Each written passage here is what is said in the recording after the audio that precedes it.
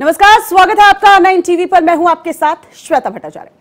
शाम के चार बज चुके हैं और वक्त हो चला है फेस टू फेस का। जी हाँ आज फिर हमारे साथ दो गेस्ट जुड़ेंगे और अपनी अपनी बात रखेंगे। फैसला आपको करना है, लेकिन आज का मुद्दा गर्म है। जी हाँ यूपी में कमिश्नरी सिस्टम पर मुहर अब जो है कैबिनेट की लग चुकी है। नोएडा और लखनऊ में कमिश्नर होंगे और योगी सरकार इसे सकारात्मक कदम बता रही है। कानून व्यवस्था अच्छी होगी, सुधरेगी, लेकिन विपक्ष जो है वो हमलावर है और सरकार पर निशाना साध रहा है। अपने अपने तर्क हैं दोनों के। तो आज बीजेपी से हमारे साथ बीजेपी के लीडर और प्रवक्ता अनिरुद्ध सिंह जुड़ेंगे और सपा के अरविंद कठेरिया हमारे साथ इस वक्त स्टूडियो में मौजूद हैं। ये दोनों अपनी अपनी बात रखेंगे और डिसाइड तो आपको करना है कि किसकी बात में कितना दम है? कमिश्नरी सिस्टम अगर लागू हो जाता है तो क्या कानून व्यवस्था सुधरेगी, नहीं सुधरेगी? पक्ष, विपक्ष क्या कुछ कह रहा है? सब कुछ आपके सामने होगा।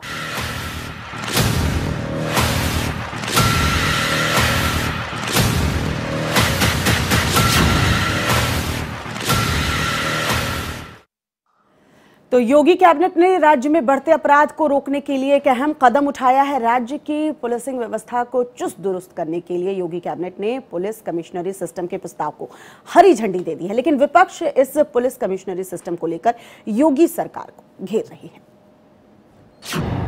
यूपी में कमिश्नर सिस्टम को मंजूरी। सिस्टम पर विपक्ष का सरकार पर वार। कानून व्यवस्था पर सरकार नाकाम।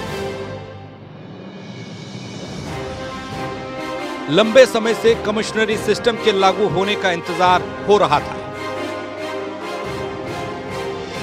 और आखिरकार मुख्यमंत्री योगी आदित्यनाथ ने लखनऊ और नोएडा में पुलिस कमिश्नरी सिस्टम को मंजूरी दे ही दी। कैबिनेट की बैठक में इस फैसले को मंजूरी मिली है। जहाँ मंजूरी मिलने के बाद मुख्यमंत्री योगी ने बताया कि कैसे पिछले 50 सालों से बेहतर और स्मार्ट पुलिसिंग के लिए पुलिस आयुक्त प्रणाली की मांग की जा रही थी। मुझे बताते हुए प्रसन्नता है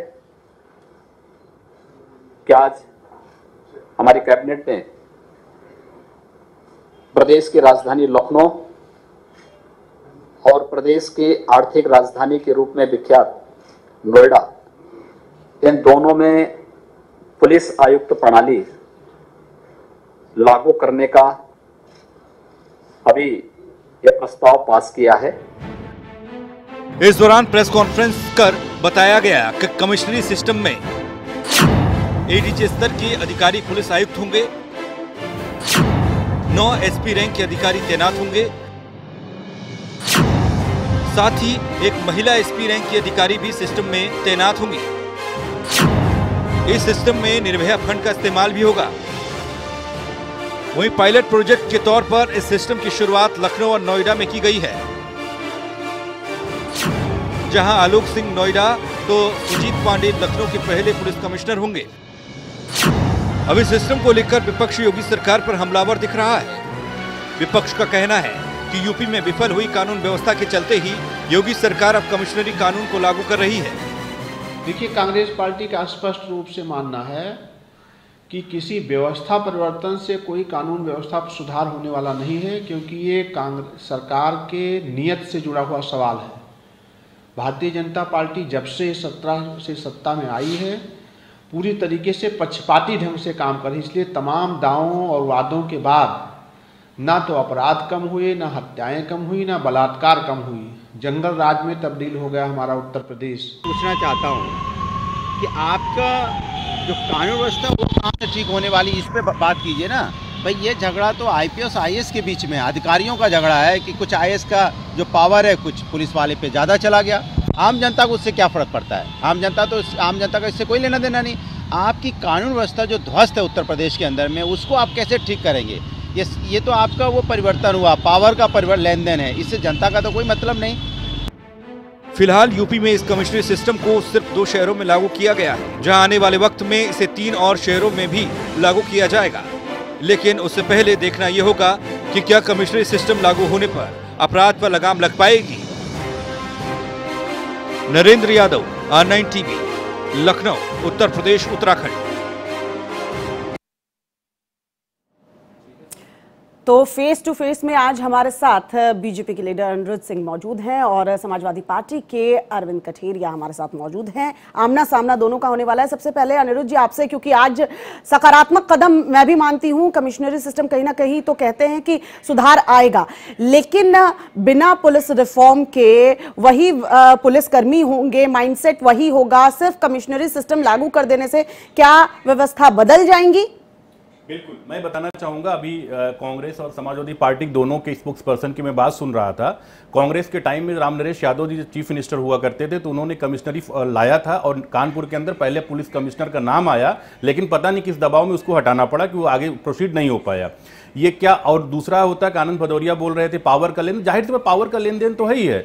जब समाजवादी पार्टी सत्ता में रहती है, जब भाजपा भाजपा पावर में आती है तो जनता को समझ में आता है कि दोनों के बीच में क्या डिफ्रेंशिएट होता है, कि एक तरफ़ वो आतंकवादियों को सही देते एक तरफ़ हम आतंकवादियों को फांसी पर चढ़ाते खैर, उस पर डिबेट नहीं करना, हमें डिबेट इस पर आता है कमिश्नरी सिस्टम पर बिल्कुल होता है, क्योंकि रीजन क्या होता है कि जो एग्जीक्यूटिव पावर होती है सपोज़ करिए लॉ एंड ऑर्डर को क्राइम कंट्रोल करने के लिए लाइसेंसिंग देने के लिए, कई कई कई ऐसी चीज़ें होती है। वो एग्जीक्यूटिव पावर से ज़्यादातर मजिस्ट्रेट के हाथ में होती है, और दोनों के बीच में अक्सर क्लास क्योंकि वो नहीं बन पाता।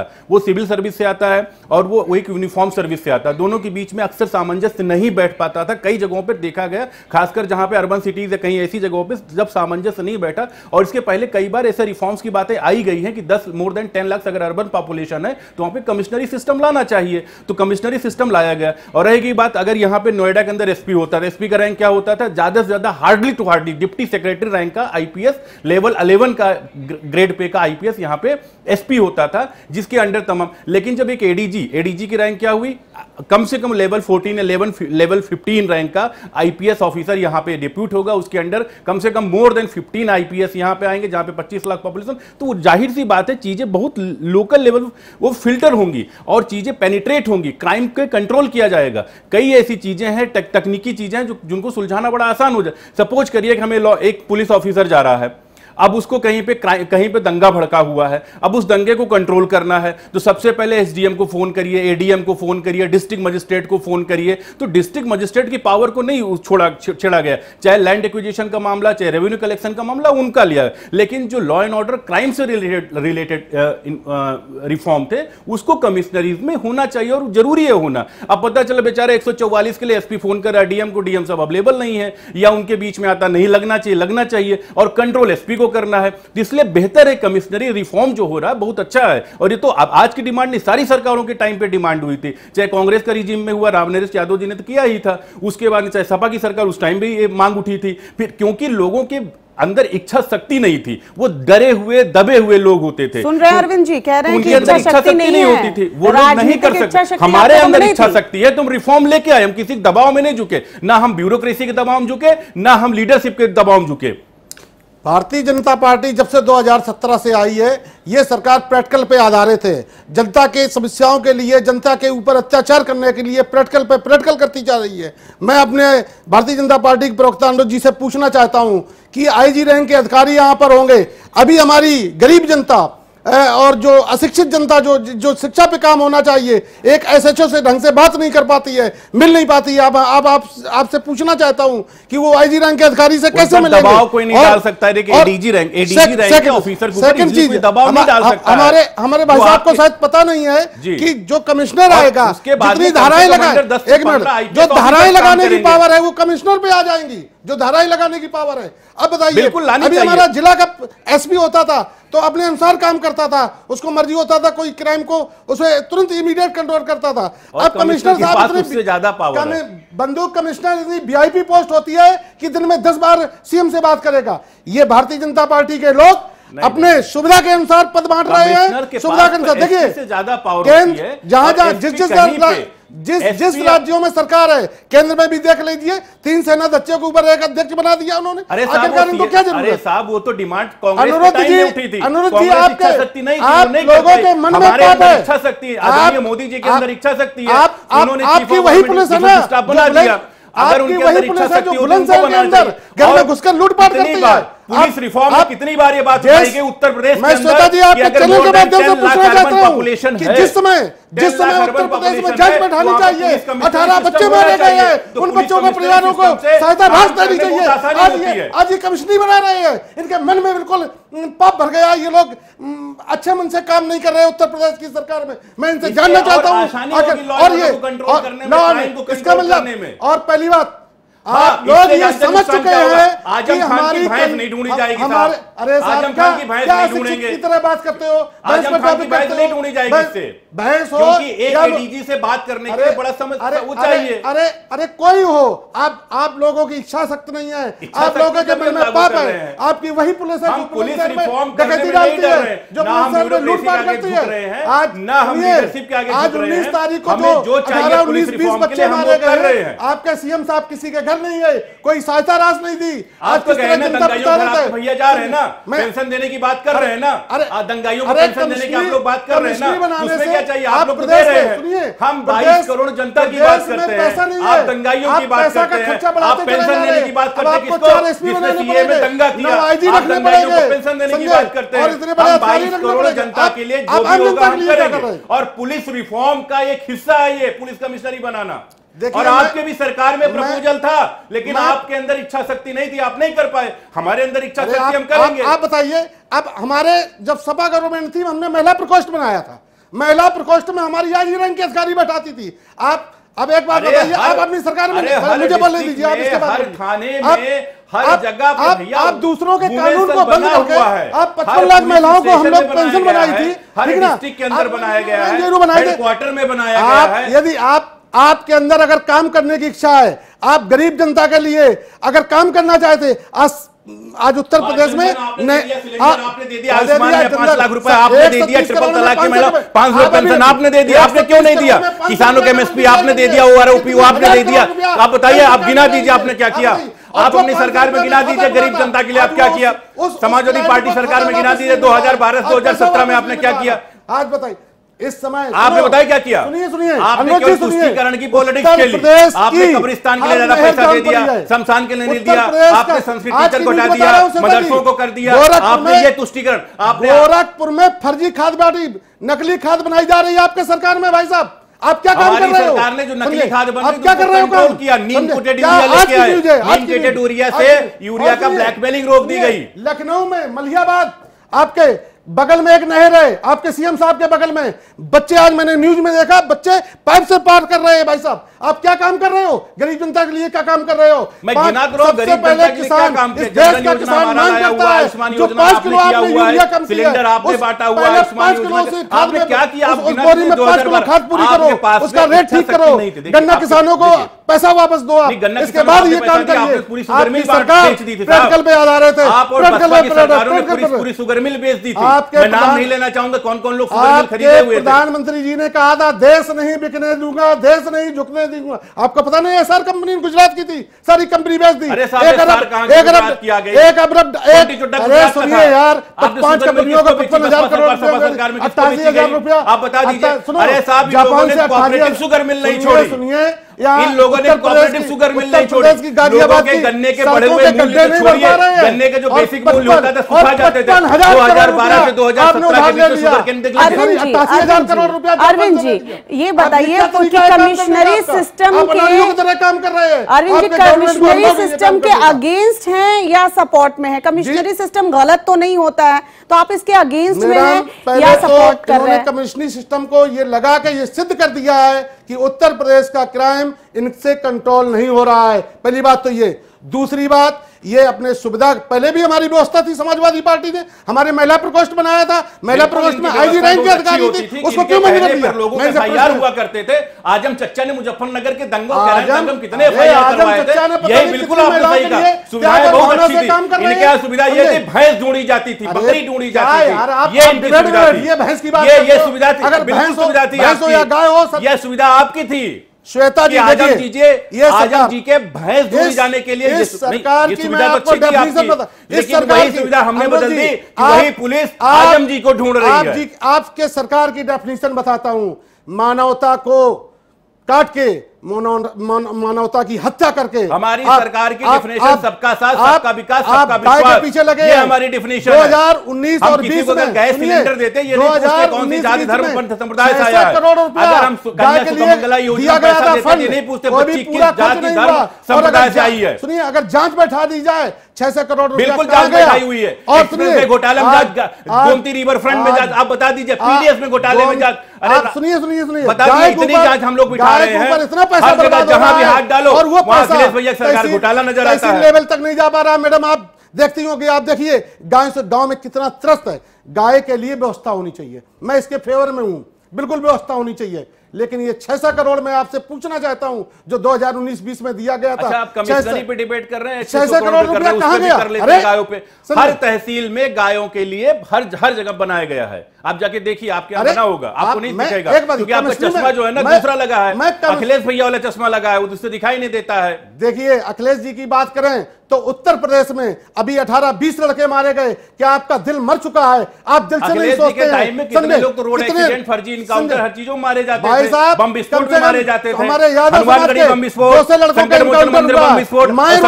छोड़ के आते थे घर पे छोड़ के जाते थे। उनकी पत्नियाँ विधवा हो चुकी हैं। आपके सरकार में ये काम हो रहे हैं। अरविंद जी लेकिन तो ये तो बता दीजिए कि आपत्ति किस चीज़ पर? क्या कमिश्नरी सिस्टम पर आपत्ति है? इनके पॉलिसी पे नहीं आप कह रहे हैं कि आपसे नहीं संभला कानून व्यवस्था तो आपने कमिश्नरी लागू कर दिया। तो अच्छी बात है ना? अच्छा कदम है। जी आपकी आपत्ति बताइए फिर मैं जवाब दूँ। मैं मैं ठीक है लागू करिए मुझे कोई दिक्कत नहीं है। लेकिन जो हमारी व्यवस्थाएँ थी मैं आपसे हमारी जो महिला प्रकोष्ठ थी नहीं नहीं महिला प्रकोष्ठ वाली तो- छोड़िए ये पहले बताइए कमिश्नरी के साथ है नहीं हमने तो आईजी रैंक की महिला बिठाई थी उसमें। अब हम हमें यह आपत्ति है। इनके नियत में डिस्ट्रिक्ट के अंदर की बात हो रही है कमिश्नरी के अंदर बात हो रही है कि जो डीसीपी रैंक होगी डिप्टी कमिश्नर आप पुलिस होगी वुमेन सेल की वो होगी। मैं बिल्कुल मैं आपके पक्ष में हूँ कि आप कमिश्नरी बिठाइए कमिश्नरी और आज की बात हो रही है कमिश्नर बिठाइए।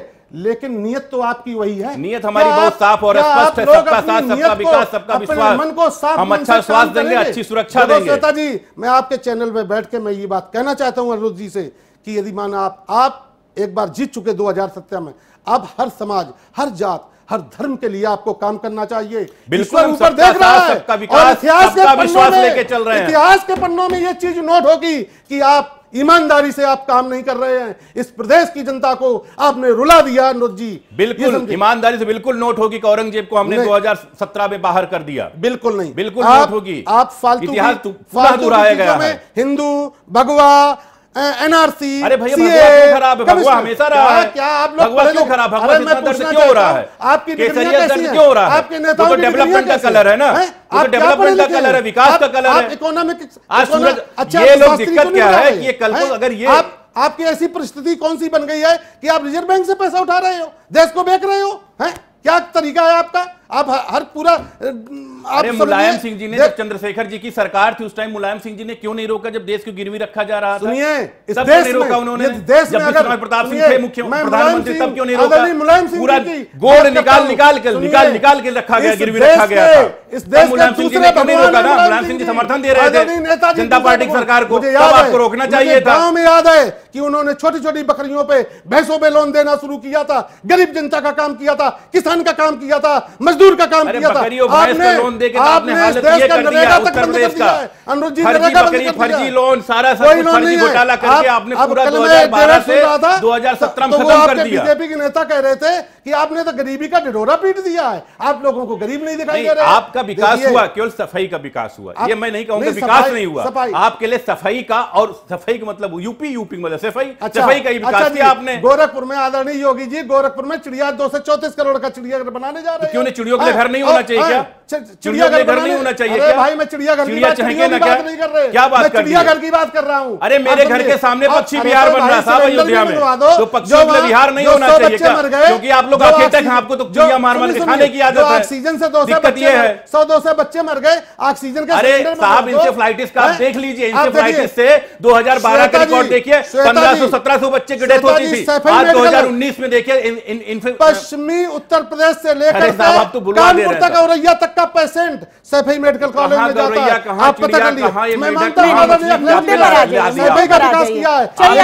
मुद्दे प्रदेश पर आ में जाइए। सैफई मेडिकल कॉलेज पे टॉप कितने लेवल लोगों पे की काम डेथ कर हुई? रहा है। अनिरुद्ध आप- जी लेकिन चेक एंड बैलेंस तो होना चाहिए ना इसमें चेक एंड बैलेंस नहीं होगा। आप मेडिकल इसमें कॉलेज तो आपको पता है ना अनिरुद्ध अरे हर डिस्ट्रिक्ट को मेडिकल कॉलेज कर दिया गया मेडिकल कॉलेज को मैं- ऑटोनोमस कर दिया गया। आपके समझ में नहीं समाजवादी पार्टी में सफ़ाई का जो बजट अगर ज़्यादा ना बढ़े समझ विकास नहीं हुआ समाजवादी पार्टी का मतलब सफ़ाई कन्नौज की कांग्रेस का मतलब गांधी बसपा मतलब मायावती जी और हमें 22 करोड़ पॉपुलेशन को सिस्टम पे बात कर रहे हैं। परसों आप बताइए मैडम, बात ही नहीं कर रहे, बताओ हम कैसे चलिए, तो मेरे सवाल का जवाब दे दीजिए। चलिए, ब्रिगेड जी, आपकी तरफ़ से मैं ही पूछ लेती हूँ। फायर ब्रिगेड पहुँच जाती फरकाबाद में तो 40-50 लोगों की हत्या नहीं होती वहाँ। देखिए, कमिश्नरी पे मैडम मरते मरते नहीं होते। नहीं नहीं एक चेक एंड बैलेंस तो होना चाहिए। चलिए अरविंद जी मैं आप ही की तरफ़ से मैं ही ही की सवाल कर लेती हूँ। एक चेक एंड बैलेंस तो होना चाहिए। ये ये माना जाता है कि आईएएस और आईपीएस लॉबी आमने सामने हो जाएगी। कैसे चेक एंड बैलेंस करेंगे सर? देखिए आईएएस आईपीएस लॉबी कभी भी कहीं भी चाहे दिल्ली के अंदर हो चाहे हैदराबाद हो चाहे मुंबई हो हर जगह पे सिस्टम्स अलग हैं।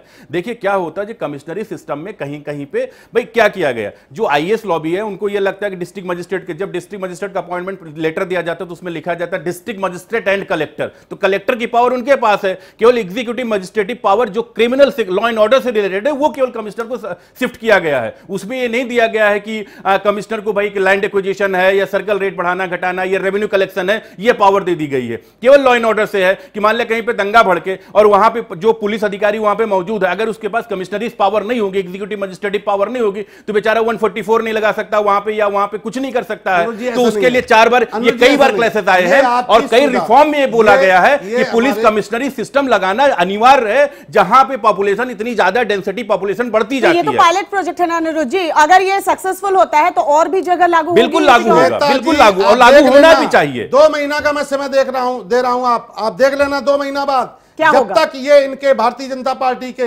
आदरणीय योगी जी के सरकार के नेता इनके मन में साफ़ मन नहीं होगा ये साफ़ मन से काम दो महीने में क्या देखना है अरविंद जी ये बताइए ये एंड ऑर्डर इनका फेल हो जाएगा ये कंट्रोल नहीं कर पाएँगे लखनऊ और नोएडा में आप कह रहे हैं। लूटपाट बढ़ रही है और सबसे बड़ी बात है मैं इनकी पुलिस व्यवस्था पे सवाल उठाता हूँ कि जब तक ये अपने पुलिस अब देखिए इस समय इनको जाँच कराना चाहिए कि भाई बच्चे गोली से कैसे मारे गए इतनी अब बुलंद शहर में इतनी बड़ी घटिया अरे भैया दंगे में आप टेंशन दे रहे हैं ना? आप टेंशन काहे ले। रहे हैं? काहे तनाव ले रहे हैं? तो दो महीने का वक्त दे रहे हैं ना आप अरविंद तो जी पेंशन चलिए दो महीने का वक्त ले लेते हैं। मारे हैं देखिए दो महीने का वक्त आपने दिया अरविंद जी दो महीने का वक्त मैंने ले लिया। अनिरुद्ध जी के साथ हम फिर बैठेंगे और दो महीने बाद चर्चा करेंगे।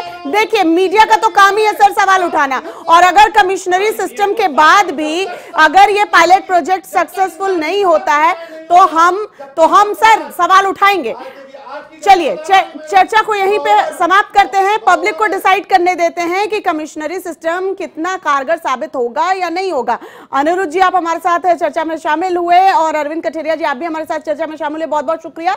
तो आज फेस टू फेस में मुद्दा यही था कि नोएडा और लखनऊ में कमिश्नरी सिस्टम जो है वो लागू हो गया है। अब खुद समाजवादी पार्टी के नेता कह रहे हैं कि दो महीने का वक्त है देखते हैं कि कानून व्यवस्था में कितना सुधार होगा। तो दो महीने काफ़ी होते हैं पायलट प्रोजेक्ट के तहत लागू किया गया। हम भी देखेंगे कि दो महीने में हालात कितने सुधरते हैं? वरना हमारा तो यही काम है कि हम सवाल उठाएँगे, क्योंकि जब तक जनता का भला नहीं होता, हम सवाल उठाते रहेंगे और सरकार में जो भी पार्टी है या विपक्ष में भी जो है, उन्हें जवाब देना होगा। आज इसी के साथ बस फेस टू फेस में बस इतना ही। दीजिए इजाज़त। आप देखते रहिए आर नाइन टीवी सिर्फ़ खबर के लिए।